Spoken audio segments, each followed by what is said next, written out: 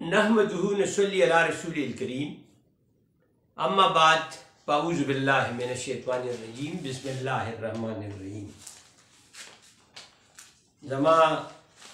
خوګو د الومینای ګروپ ملګرو السلام علیکم دا پروګرام به انشاالله په ستایس تاریخ په ټیوزډې باندې په کار نیول هال سپرنګ هوټل کې به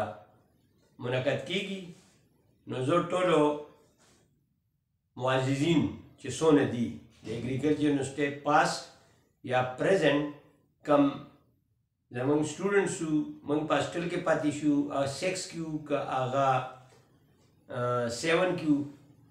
نو مونږ غواړو چې په دې کې شرکت وکړو او دا میګا ګیدرینګ دغه چې کوم دی پروګرام قایم کړو نو دې باندې ما یو نظم لیکلی دی نو راځئ دا نظم واورئ او انجوای کړئ جوړ شو پروګرام په پیښور خلک برازي د لرو بر جوړ شو پروګرام په پیښور خلک برازي د لرو بر څوک به وي د سواد څوک د مردان هم به هزارې وي هم دا هزارې به وي جانان ښکلی به پېزاوي په هوټل ښکلی زرزري به وي میپل جوړ شو پروګرام په پیښور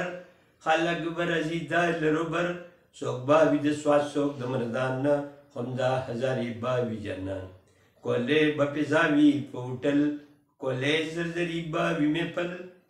څوک با د مروت وي اکبر خان نه څوک با هم راځي دا ډی خان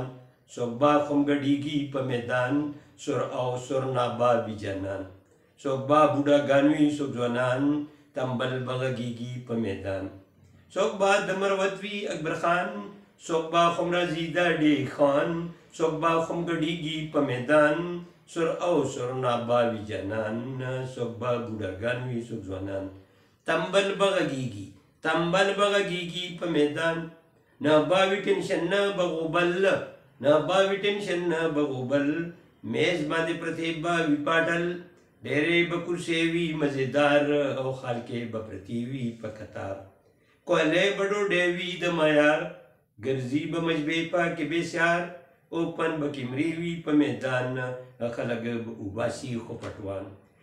ډیر قول ماحول با وی قربان نوم می نوشتان دی کوم بیان یم ما زد زاتا خو پټان ورکه پیسې ورکه خو خوبان دا یا و موقع ده دا یا و موقع ده بیا خو نه راځي جنان جوړ شو پروګرام په پیښور خلک برازي د لربر کوله پروګرام د لومنای جوړ شو پیښور کې زما بای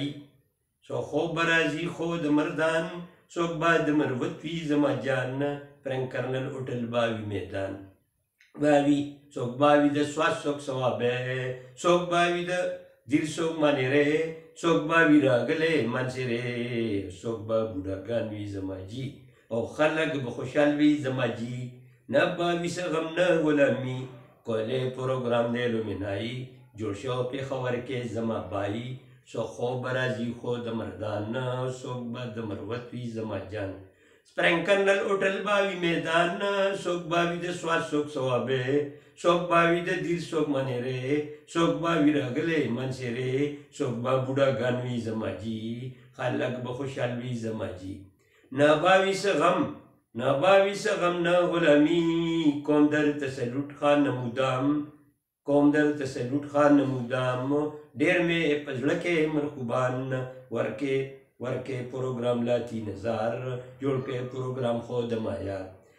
جوړکه پروګرام خو د معیار زه نوشارو همدر ته سیتار کله پروګرام دی د بازار را باشه میدان ته او را باشه میدان ته ټول کسان ډیره بمزوي ډیره بمزوي په میدان کله پروګرام دی لومنای جوړ شوی په خبر کې زمبای څوک خو به راځي خو د مردان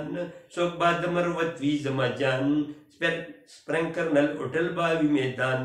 څوک به وي د سواد څوک ثواب دی څوک به وي د دیر څوک منیری څوک به وي راغلی منصری څوک به بوډاګان وي زما جي او خلک به خوشحال وي زما جي نه به وي څه غم نه غلامي درته سلوټ کوم درته سلوټ خان نه مدام ډیر مې په زړه کې مرکوبان نو دا نظم ما ولیکه او تاسو باندې مې ولیکه چې تاسو به یې خامخا ګیدرنګ وکړئ ټیک د زمونږ بډینګ یو ګروپ شته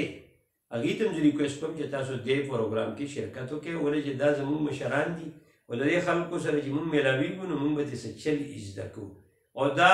پروګرام چې کم دی دا د دې ټولو نه ورګه زموږ مین مقصد دا دی چې څنګه به مونږه اګریکلچر ډیولپ کوو نو په دې کې به دا قسم مشورې هم کیږي چې کلی به څنګه ډیولپ کیږي پالیسی به څنګه جوړیږي نو دا صرف دا نه دی چې یاره موږ به روټۍ وخورو دې کې به ښکلې ښکلې خلک راځي چې هغوی به پیر سره تعلق ساتي او د هغوی سره به ډېره ښکلې آیډیاګانې وي او هغه آیډیاګانې به په دې ځای کې ډسکس کیږي نو که تاسو فرض کا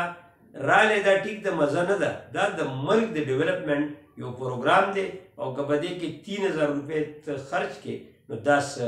مطلب د ګران کار نه دی ټیک ده که یو سړي سره پیسې نه وي او مسلې ورته وي دې دې هم راشي پیسې دې نه ورکوي هغه پیسې به مې انشاءالله موږ مطلب دا دی پیمنټ کوو چې کوم خلک پکې ښي خو لکه زه ټولو ته ریکویسټ کوم چې تاسو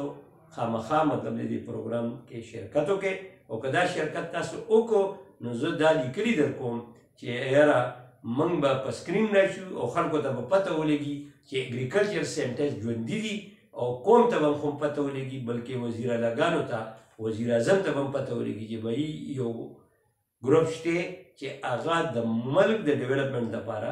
کار کوي او هغه کم یو ګروپ دی هغه اګریکلچر الومینای ګروپ دی